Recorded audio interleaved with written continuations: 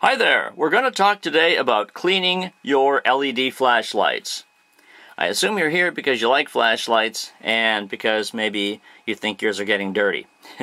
not only that, uh, the point is all flashlights do get dirty over time. We're not talking about the outside of it, we're talking about the inside of it.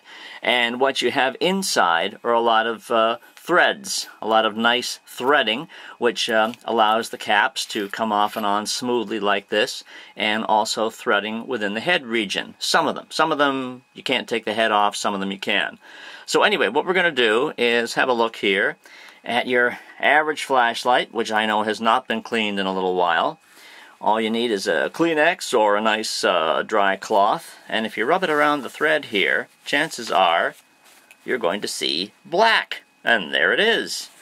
It comes off very nicely, but you can see it is there. And they do get uh, that way just from changing batteries and so forth and so, you know, just general use and mainly taking the cap on and off and changing batteries, which you do do, which you do quite uh, frequently. So anyway, take a piece of Kleenex or a cloth, try to rub it as uh, cleanly as you can so you get uh, all the black off.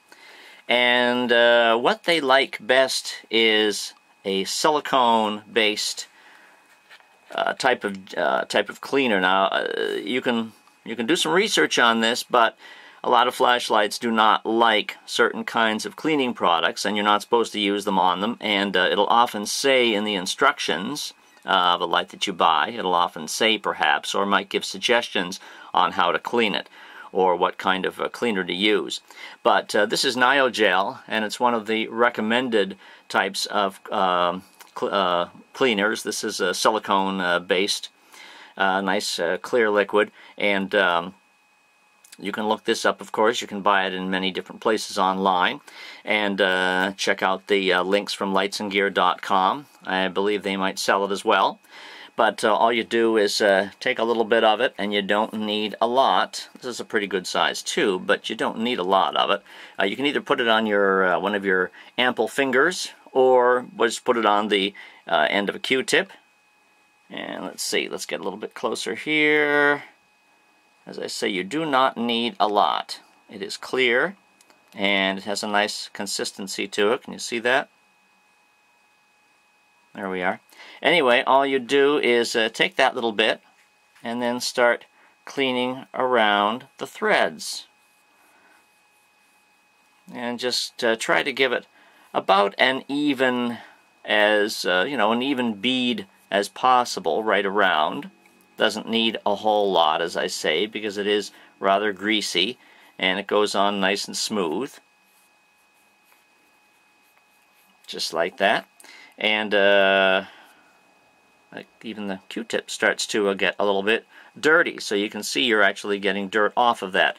Now, you may not even think of it, but inside the cap, you may want to even do the same thing because they get dirty as well, obviously. There, you see, I got a lot of dirt off there. So inside the cap is pretty much the same procedure. Get as much of the dirt off as you can. I mean, you could put some alcohol in here as well. You could damp the uh, cloth or tissue with a bit of alcohol. So again, with your nice little bead of Nyogel in this particular case, there are other types of uh, gels out there, but uh, this is one of the, the uh, recommended brands, if you will. So again, just give that a little clean right around. And again, I'm getting dirt off on my Q-tip, which is the whole purpose of it, is to keep things lubricated.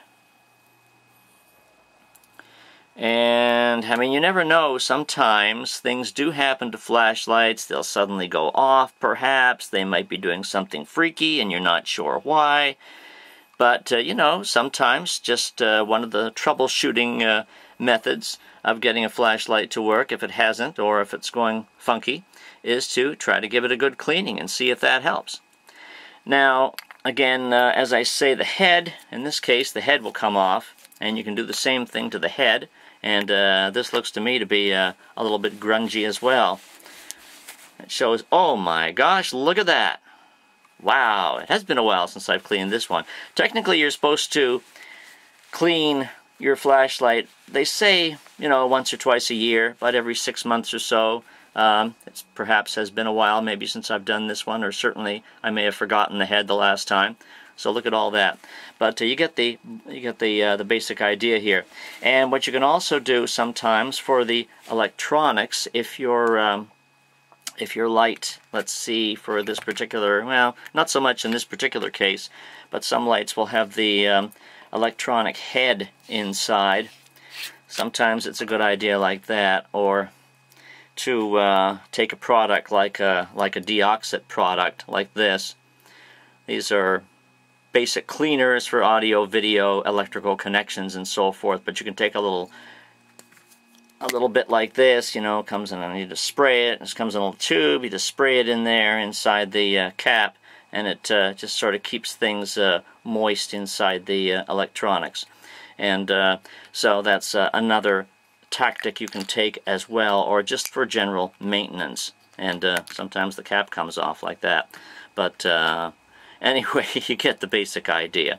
So there you go. Cleaning a flashlight can be fun only takes a moment or two, and it can certainly preserve the life of your light over time because everything in life does need a little cleaning now and then.